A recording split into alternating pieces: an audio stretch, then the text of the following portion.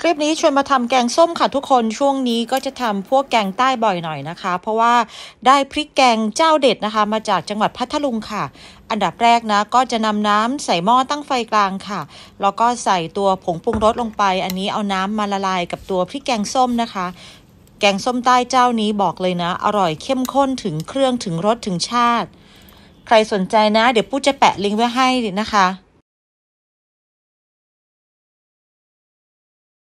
จากนั้นก็ใส่กะปิลงไปค่ะ อันนี้ก็เป็นกะปิระนองนะคะ รสชาติดีไม่เค็มมาก แล้วก็ใส่ตัวน้ำตาลมะพร้าวลงไปค่ะ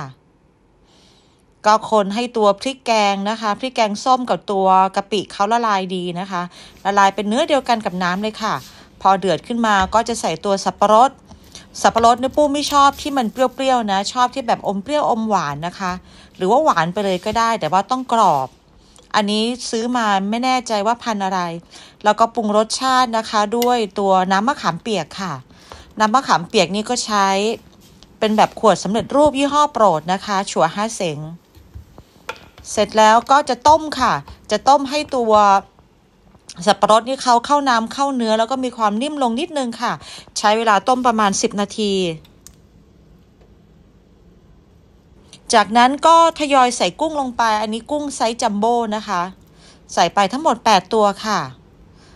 หลังจากที่ใส่ตัวกุ้งลงไปแล้ว แป๊บเดียวค่ะ กุ้งใช้เวลาสุกไม่นาน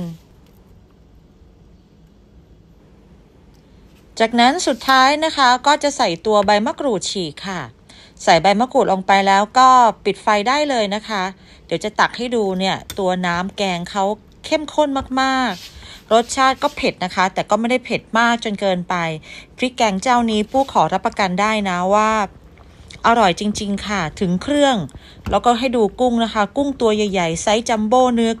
เนื้อหวานค่ะ หวานมากๆ เนื้อหวานเด้งๆกรอบๆค่ะ อันนี้ก็ตักใส่ชามนะคะ เตรียมเสิร์ฟค่ะ วันนี้ก็มีของทอดนะคะ กินแหนมกับตัวแกงส้มของเราด้วย แล้วก็พร้อมด้วยข้าวสวยร้อนๆนะคะ โอ้โห ไม่อยากจะบอกเลยนี่ขนาดภาคคลิปนี่นะคะ ยังนึกอยากกินอีกเลยค่ะ แต่ว่าก็จะเปลี่ยนไปเรื่อยๆนะคะ